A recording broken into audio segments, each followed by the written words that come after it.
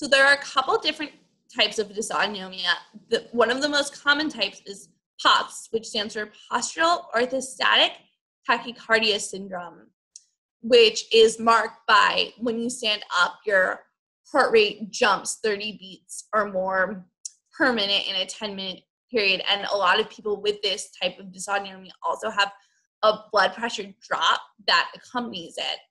And this leads to fainting in many cases. And it can also have a multitude of other symptoms, but that's just the main hallmark symptom.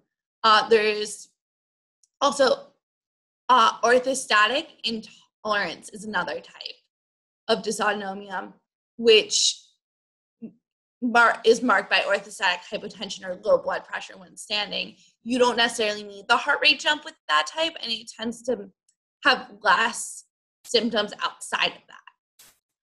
Um, the next type is pure autonomic failure, which means pretty much every part of your autonomic nervous system's kind of failing. It's one of the more severe types of dysautonomia and can can be terminal over time. Uh, the last one is familial dysautonomia, which is the rarest and most severe type of dysautonomia.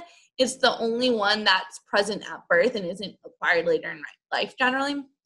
It's always um, acquired at birth. You're born with it. Um, it decreases your life expectancy by a lot. Um, there's now some people living into their 30s with it, but and 40s, but that's the most severe